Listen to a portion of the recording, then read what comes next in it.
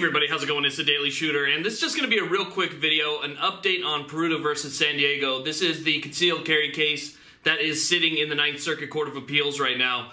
One of the biggest questions that I've been getting on the channel as of late is what's going on with it? Uh, I thought we would have an answer by now. You know, is, is it stalled?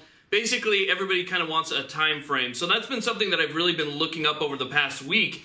And from what I've been seeing, uh, what I've been hearing, all of the information that I found so far states that we may not actually get a decision in this particular case until as late as February. From what I'm understanding, it could be as early as December, but as late as February. So, for all of those people like myself who are kind of waiting for a decision to come down, the Ninth Circuit Court of Appeals is really bogged down right now.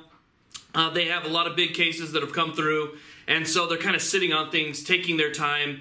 Uh, so it, it's just going to require us to be be patient. But it looks like I mean nothing's going to happen any earlier than December from what I'm seeing. Uh, February is kind of our month. If it does run late, it seems like that would be the latest. But just a quick update on Peruta v. San Diego and what's going on in the Ninth Circuit Court of Appeals. Right now, we're just playing the waiting game. Thank you very much for watching. Please like, subscribe, and have a great day.